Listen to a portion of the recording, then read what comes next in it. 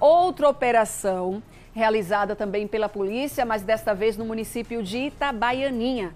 Militares da Força Tática do 11º Batalhão flagraram dois suspeitos numa tentativa de roubo na zona urbana do município.